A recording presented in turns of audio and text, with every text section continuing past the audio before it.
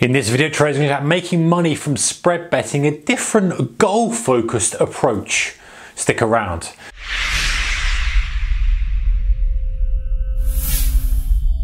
Hey traders, warm welcome to you. Right, so making money from spread betting. Let's look at this from a different perspective. So let's imagine you have a hundred thousand pound share portfolio. That could be ten thousand, could be fifty thousand. Just adjust the numbers to suit. And you've got a portfolio, and you've got a spread, a mix of stocks or whatever it may be, and shares that you believe are rising in value, and it's growing quite nicely. But you want some more high risk approach, or a little bit more leverage, a little bit more kind of boost to that portfolio. So decide to take 10% of that and allocate it to spread betting. Now, spread betting is far riskier, of course, than holding shares for longer term. It's a shorter term vehicle generally, although you can hold it longer term as well. And of course, you can trade a multiple different amount of markets. You can get exposure to things that perhaps you wouldn't otherwise be able to get exposure from. And of course, as well with spread betting, you can make money from the market moving down. Okay, so let's say you've allocated £10,000 or 10% of your portfolio to super high risk spread betting, shorter term trading. And you say, right, well, I want to make an extra, let's say 20% on that. Because I really want to kind of, you know, get some money going. I want to kind of use a smaller, smaller chunk of my portfolio and kind of make 20%. Maybe it's 30%, maybe it's 100%. So this is where we're going and we're looking at, okay, what are my goals? You know, we're starting out at this point here. We're going, what I want to achieve? What am I trying to get from this? So a slightly different approach to perhaps starting out from the spread bank, just putting money. You're saying, listen, I want to use this as an additional vehicle to boost the value of my total investment. So you're starting out with a goal.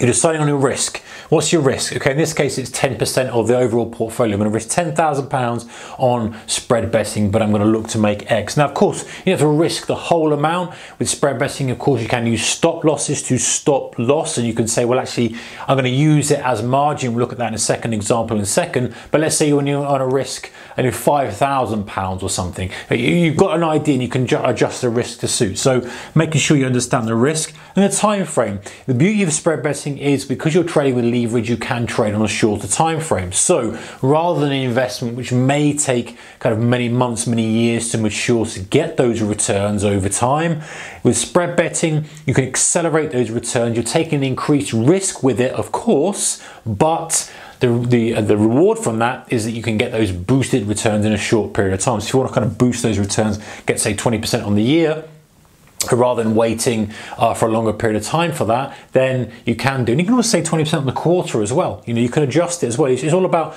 this specific example is kind of reverse engineering your goals with your overall investment portfolio. Uh, so how long are you looking to make that? And the profit level is going to come in with what sort of returns you're looking to get, and which is aligned with your goal. So let's say we've got this £10,000 spread betting account, goals to make 20,000 on the year with that 10,000. The rest of it is tucked away in your investments. Okay, so let's say we do a 20 pounds per point bet on the FTSE 100. Now, you may not want to trade the FTSE 100 because perhaps you have already a portfolio of UK shares which you are already kind of overweight long with the market. If you're trading the FTSE 100, you're adding more to that, but maybe you do. Maybe you think that actually, you know what, the market's going to rise higher uh, in, over the next year and you want to really get more aggressive and leveraging yourself up and make more money money from that rather than just the spread of shares that you've got.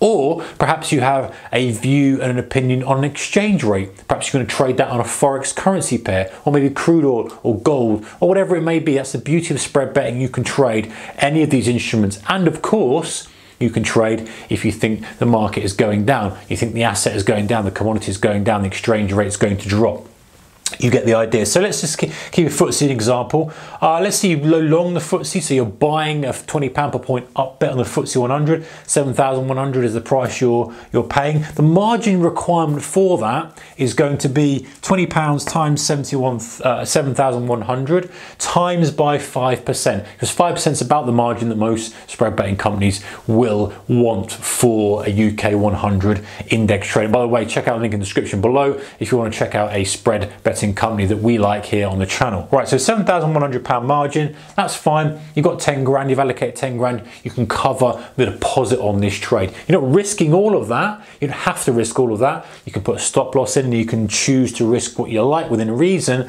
but that's the deposit that the broker will require from that. For that trade, should I say. Right, so let's say you're looking for a 100 point goal in total over the year. That's the year.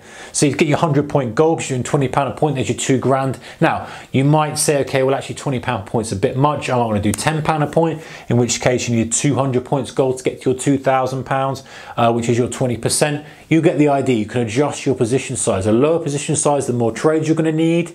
A higher position uh, size, the fewer trades, fewer points, etc. So let's say you've got 100 points to go. You're looking for two good 50 point trades, high probability trades over the year, over the quarter, over the six months, whatever it may be, or for 25 point trades. Now, bearing in mind, the lower you go on the kind of number or the profit target on the, or the price target on the trades, the more you're going to be paying in spreads and fees. And also, the more frequently you're going to be trading, the more kind of research you're going to have to do if you're looking over a longer period of time to get kind of four good trades over the year or over six months, even over the quarter, isn't unfeasible. You know, if you're talking about a day, you might be pushing your luck. But over a longer period of time, you can wait and wait for that setup that's really sitting right with you. So let's just say you did that how would it work out? So let's say you've got a two to one ratio. So basically you've got a two to one ratio ultimately means that, hey, I want to make twice as much as I lose when I lose. You're to lose from time to time. It's the way it is. But let's say you're losing half and you're making double that. So in other words, you're losing a thousand pounds, you're making two thousand pounds. You're losing 500, you're making a thousand. You're losing 250, you're making 500. You get the idea. The order of magnitude doesn't matter so much, it's that ratio. So what would happen if you got half right, half wrong with that? So you'd say, okay, well, trade number one, let's say you got 20 pound a point, looking 50 point target.